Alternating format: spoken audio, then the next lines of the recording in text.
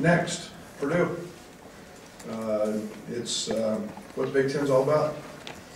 Uh, No easy games. Uh, You see, uh, I think we got a firsthand example of why Michigan State was picked number one in the country preseason. I think we saw firsthand why Cassius Winston was, was picked as player of the year nationally. And uh, when the ball doesn't go in, uh, there's challenges. And uh, you're not, you're not gonna win. Uh, The game before, we made 11 threes. And we shot, we shot the ball extremely well and, in shoot around. And, um, you know, we had one of those nights, we were 17 of 35 um, in the paint, uh, within four to five feet. And then, uh, obviously, the three-point shooting was, was, uh, was not good, and you're not gonna win, uh, any place, let alone against the best team in, in, uh, one of the best teams in the country. Uh, But, um, you know, bounce back, that's one of the great things about basketball, and it's one of the great things about the Big Ten is almost all of our teams are in the KenPom or the net in the top forty, and you gotta get a chance to go do it again and, and, uh, and grow. We, unfortunately, we, we suffered a tough loss at Maryland, uh, a heartbreaker, we turned around three nights later and beat Michigan. And, and that's what this league affords you, is, is another opportunity to go do something, uh, great and, and, uh, move forward. It's about, uh, avoiding the highs and lows and, and staying on a level playing field, and that's, uh, uh, that's the beauty of getting back into practice. Uh, The next day is, you know, these guys are pretty resilient, we're gonna go to practice and, and uh, uh, shake that off, so. Uh, Purdue's very, very good, Uh, they're, they're one of the top defensive teams, uh, not only in our conference, but in the country. Um, Obviously, a team that has some new roles, losing Carsen Edwards and Cline and, and uh, some of the best players in that school's history, so uh, a little more inside-oriented team. Uh, It's been interesting and fun to watch Matt Haarms. Uh, Saw him in high school a lot, and to see his growth and development. A guy had 26 the other night, now he's a junior, but uh, obviously got some, um, he's got size at 7'3". Uh, Williams has, um, has become extremely effective.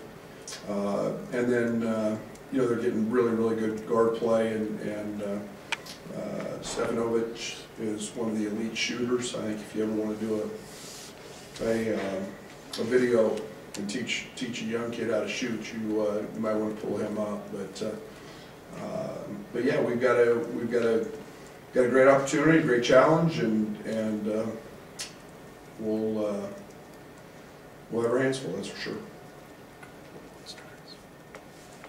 Joy.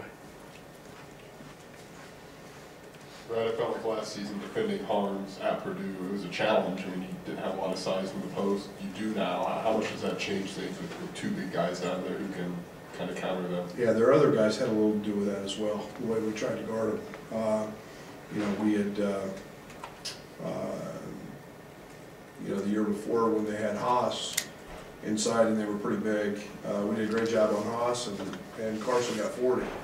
Uh, signed a pretty good basketball team when you've got that kind of balance and, and uh, uh, Haarms has developed, uh, developed tremendously from the offensive side of it. He's, he's a guy who's stepping out and shooting threes his first year. Wasn't, wasn't doing that. Now he's, I think, six of sixteen on the year from the three. He's a guy that's a threat. He made some of those last year against us. Uh, But, um, yeah, he's a, he's a very gifted player.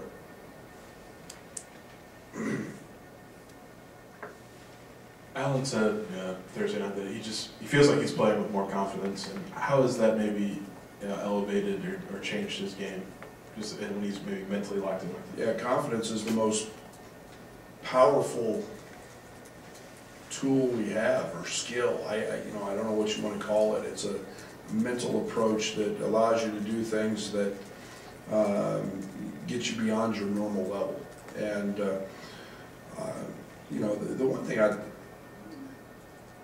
Adam plays with a motor. I mean, when, it- when people want me to describe Alan, it's motor, motor, motor. I mean, he just plays so hard, and, he- and he's, he's carefree.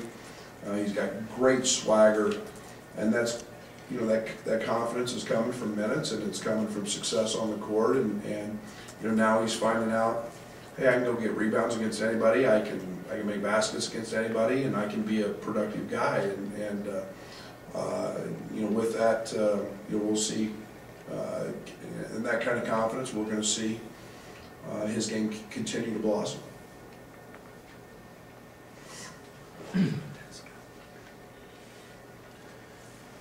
Brad, how concerned are you, if at all, about offensive production from the four spot? I,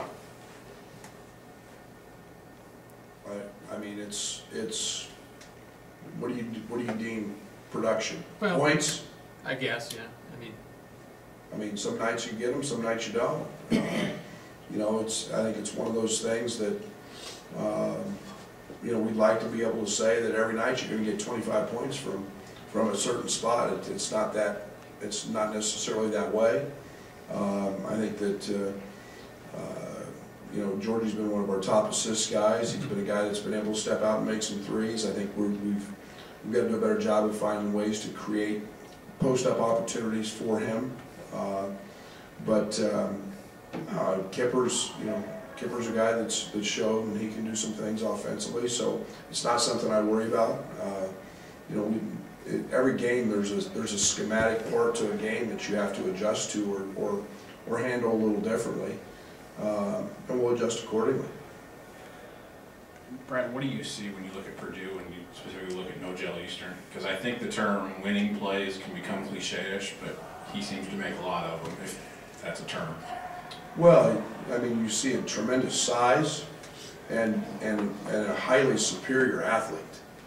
Um, I mean, it- if you want to, if you want to measure guys for vertical jumps and speed and do all of that, I mean, you can go put him up against probably any athlete on their campus and, and he's going to rank in that top, um, you know, that top portion. I mean, there's some dunks from, from him early in the season in transition. I mean, he's just inside the free throw line leaving the dunk.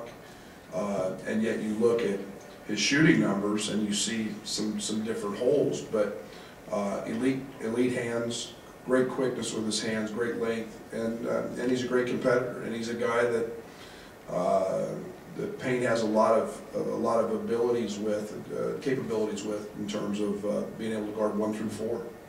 And, uh, those guys are, those guys are very rare. Where do you think this team's mentality is at with the three-point struggles, and do you approach it any differently in practice or preparation? Just keep shooting, man. I mean, we made eleven the night before. I, I, you know, the game before, I, I, you have a night, and it's like walking through the line, and, and Tom says, he goes, you just had our Duke game. You know, and I look up at the twelve-minute mark, and we're, they're shooting thirty-four percent, and we're, you know, we're trying to withstand their run, and, and some nights the ball doesn't go in. Uh, I don't make too much out of it. I, I, you know, Trent Frazier's a good shooter, he got good looks. I loved our looks. I loved, Ayo had three great looks that, uh, that he, that he makes. And, uh, uh, you know, so it's, it's not something that we, you know, we just keep shooting balls and, and, and practicing them and, and, uh, you know, guys gotta step up and make them. After watching the film, is there anything that stood out with Kofi, uh, and anything that he needs to change or anything like that? I, you know, I think the one thing we've just, we've talked with, with Kof about is, is, is using his frame, using his body, and, and, and I mean, hitting people.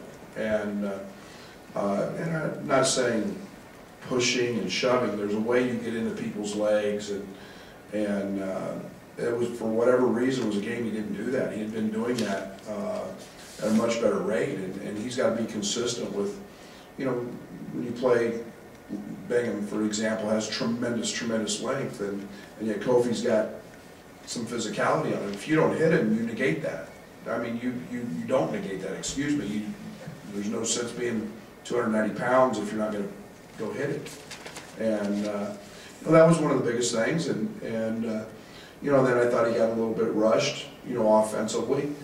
Um, but, um, you know, again, he's a freshman, he's thirteen games into his, into his career, and, and, uh, you know, he still had nine rebounds in nineteen minutes or whatever he played. Alan maybe came in with the, label as a shooter, but how important has maybe his growth been with, you know, ball in hand attacking the basket? Well, I think the one thing that he's, he's grown in that area. You know, I think Alan's always been a guy that was, that was, um, we knew he was a a rebounder, I think he had eighteen rebounds or nineteen rebounds in the state championship game. We we knew he was capable of doing that, I think he's, uh, everybody knew he was a good shooter.